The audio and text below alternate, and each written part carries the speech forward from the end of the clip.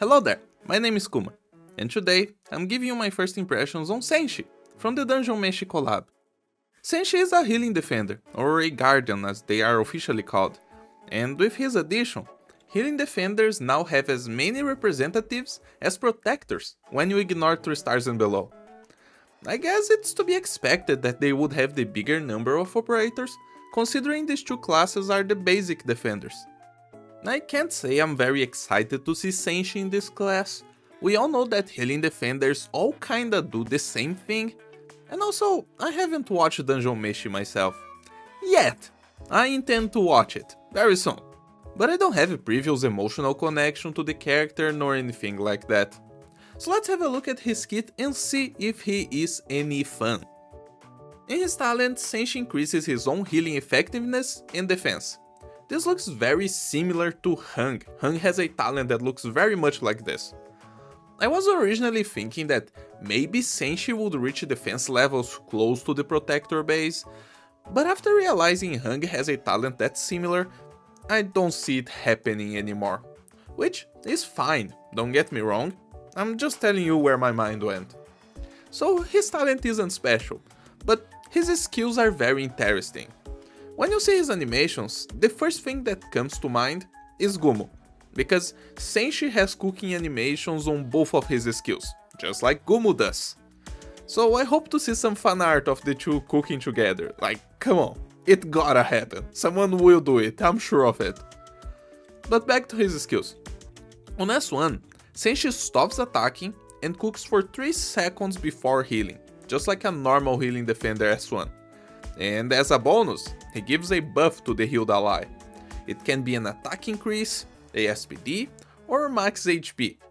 I imagine this is a flavor effect, the small buff I mean, based on what it happens on the anime, but I wouldn't know because as I said I didn't watch it yet. What I do know is that I like this skill. Maybe they decided to simply not write that on the teaser, but I wanted to assume that Senshi does not have the HP threshold restriction that the other healing defenders, except for Gumo, have. I very much prefer Gumo's S1 to the other skills shared by the others. But hey, I could be wrong on that. Just let me dream with the possibility of having another healing defender that does not have the 50% HP threshold.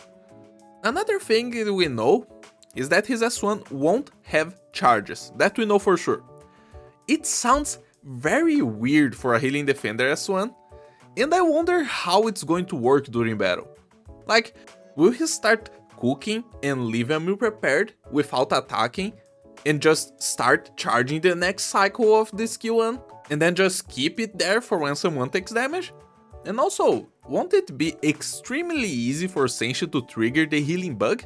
Since he takes 3 whole seconds to send his healing off? And in case there's anyone who doesn't know about this, let me explain real quick what the healing bug is.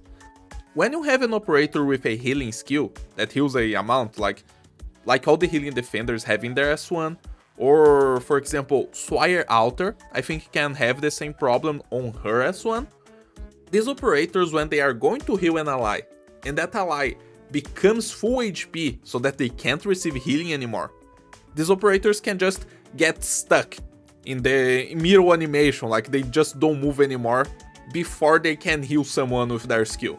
So Senshi having that much time between his skill animation starting and him going to heal someone, it could bring that bug to happen a lot. But of course, these are things that we'll have to see. It just leaves me wondering. As for Senshi's S2, he starts cooking and stops attacking for 10 seconds. During these 10 seconds, he regens allies every second, and when he's done cooking, he does a big heal on everyone inside his range, Gumo's S2 range by the way, 8 surrounding tiles, and then he gives mana to everyone. What does mana do? I have absolutely no idea, but it's probably something the other characters from the collab will use. Senshi is the first teaser they released, so right now there is no more information about that, at least when I am recording and releasing the video. Maybe the Dungeon Meshi fans can tell us in the comments how mana works in that anime.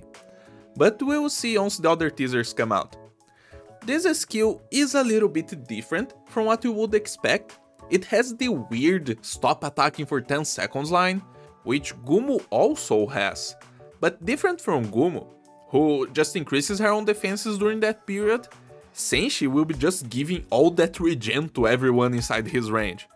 Even then, this skill only lasting for 10 seconds, a much shorter time than the other healing defender skill 2, it feels like this would have a shorter skill cycle so that you could spam that regen and get a lot of those mana points.